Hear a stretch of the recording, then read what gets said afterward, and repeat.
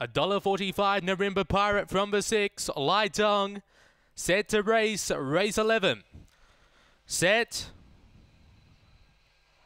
Away, Narimba Pirate began well. Good speed off the inside. Subjective Boomer who goes to the front over Narimba Pirate, Dunkirk. Then we go back to Aston Miller, Maz's Mitzi, Gemtree ablaze and Spring Waratah at the tail. Up turn, up to the turn here. It's crowded. In the centre, Aston Miller on the inside. Subjective Boomer out wide there. Dunkirk on the inside. Aston Miller and Aston Miller gets up to beat Dunkirk. Third was either Narimba Pirate in that group as well. There was Maz's Mitzi out wide. Spring Waratah with Gemtree ablaze who was back towards the end with Subjective Boomer. Time around 22 and 70.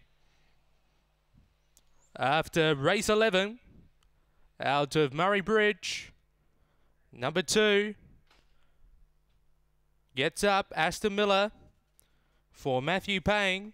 Second will be number four, Dunkirk, also for Matthew Payne. And third will be number six, Narimba Pirate for Lisa Rasmussen. 22.74 the time as we just await confirmation.